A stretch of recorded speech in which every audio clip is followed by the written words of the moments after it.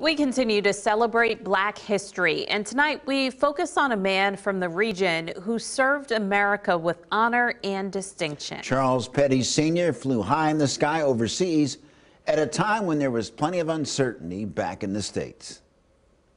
The mural that's been done on the wall, we're going to represent for Black History Month is my Uncle Charles Petty. If you drive along North of 6th Street in Harrisburg, you will see a mural of Charles Petty Sr. He's one of the country's first African American military aviators. But Mr. Petty served with a very illustrious group called the Tuskegee Airmen. Petty was from the region, and many of his relatives were part of the mural celebration. To our father, grandfather, uncle, and friend. Tuskegee Airmen served during World War II while blacks in some states were still fighting against Jim Crow laws. It's just about their service in America, even during a time when it was segregated. And in spite of all those obstacles, they excelled. Brian Hickman is the artist.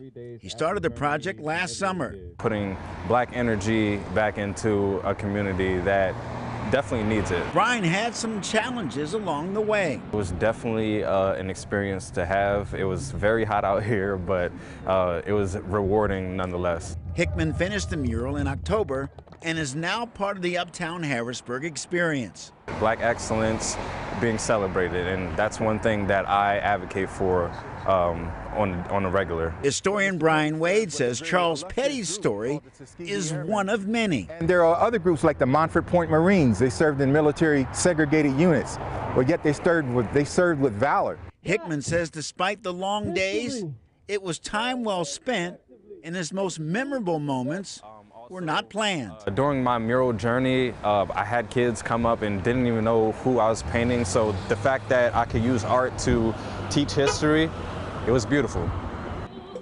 Art to teach history, I like that. Right, you know, and they've been working on that, well, the artist has been working on that since the summer, and uh, they finally celebrated the completion of the project. So it's going to be a part of Uptown Harrisburg for years to come.